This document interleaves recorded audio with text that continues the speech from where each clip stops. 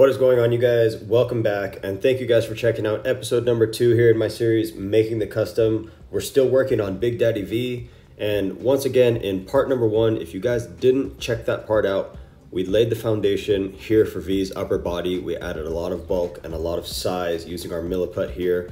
Now, what we're going to be doing here in episode number two is cleaning that up and finalizing the shape of V's upper body.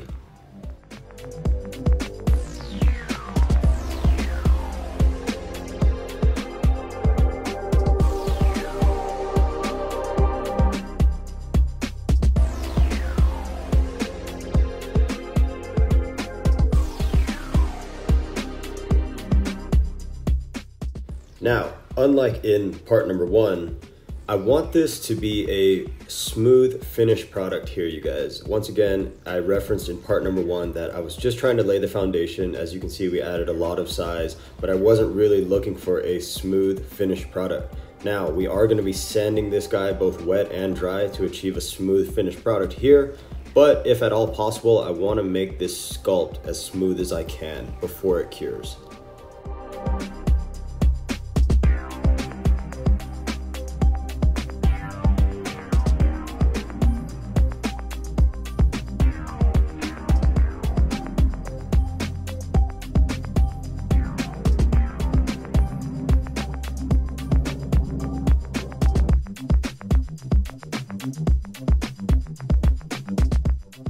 As you can see, what we're doing here is just a little bit more of the same. I'm adding a lot more thickness and width to the chest here of V.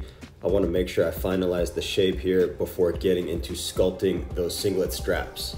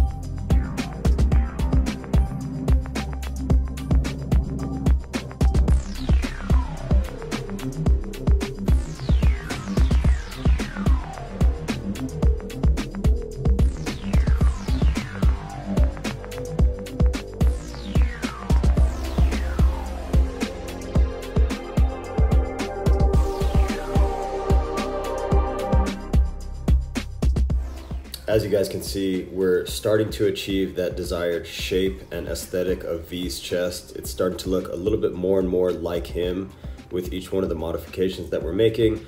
I'm still carving it out, making sure we're achieving that full range of motion, and I'm still continuing to maintain that full articulation for him.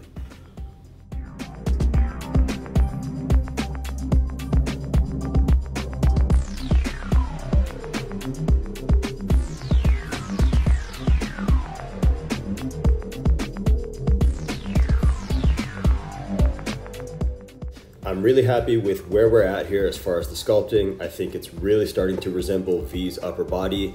Now, what we're gonna do next is I'm gonna let this guy cure and we're gonna start on the modifications for V's head.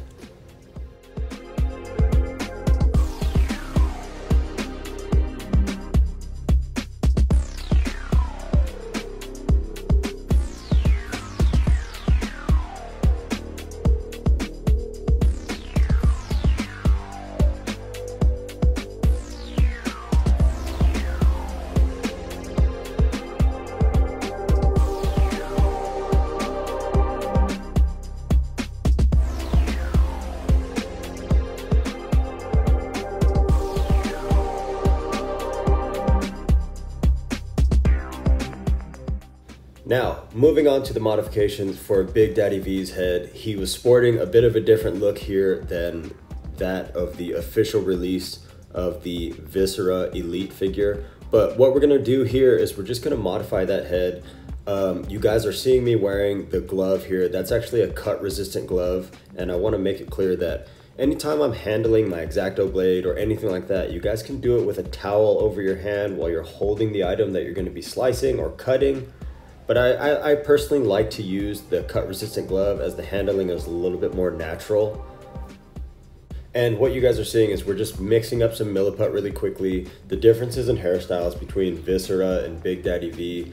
Uh, Viscera obviously had that bleached blonde mohawk and Big Daddy V was sort of sporting just a normal low fade, you guys. So what I'm gonna do here with the milliput is I'm just trying to round out the top of his head and then I'm just gonna go ahead and trim out a hairline using my X-Acto blade and we're gonna kind of add some texture to that.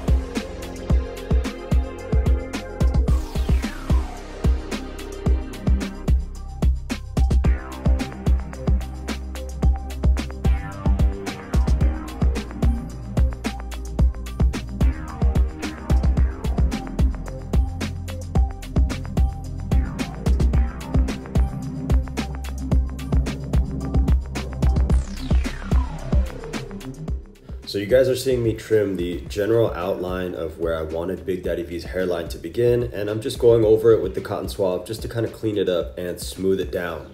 Now, what you guys are gonna see me use here to achieve some of the texture of the hair is actually a ballpoint pen. And what I'm doing here is I like to dip it in water to make sure it doesn't stick and potentially pull the clay off of the head. And I'm just dipping it in to sort of achieve some texture, some divots, some recesses and stuff like that. And actually the next thing I'm gonna do is I'm gonna grab a piece of coarse sandpaper. So really high grade coarse sandpaper. I'm gonna dip it into the water and I'm just gonna kind of flatten it out, running it over the hair to again, achieve some nice grainy texture.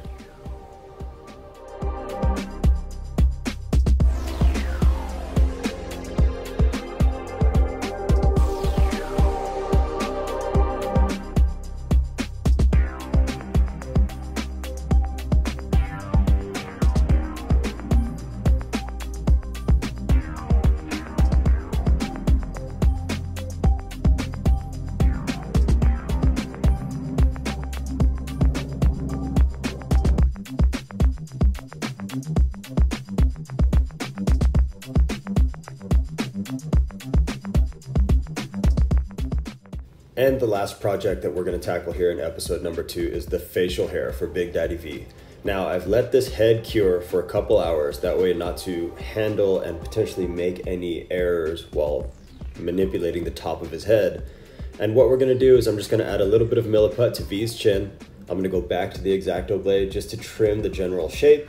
And then I'm gonna use the Q-tip, the toothpick, and the ballpoint pen just to achieve the texture. Now remember, V didn't have much of a goatee or a very long or thick beard here during this time. So I don't want to I don't want to elevate the chin as far as size at all with this facial hair. So I'm just going to try to make it as thin as possible, as flat as I can towards the uh, original sculpt here. And I'm just going to try to add the texture and I really think it's going to add a lot visually once he's all painted. And finally, you guys, we are almost through all of the sculpted modifications here for our custom Big Daddy V. It's starting to look a lot more like him and his body shape as well as his head. So what you guys can expect in part number three are we're gonna start doing some of the sanding. I'm gonna show you guys how I do the sanding as far as achieving that really smooth finished product.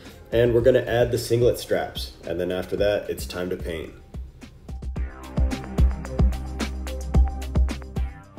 Thank you guys so much again for coming and checking out episode number two here of Making the Custom. We're almost through working on our custom Big Daddy V. I think you guys are gonna be really excited to see that finished product. And as always, if you guys like the video, please leave a like, please leave a comment, please share with a friend. Please check me out on Instagram at chargrove.customs as well as subscribe here on YouTube to keep updated for all of my latest videos.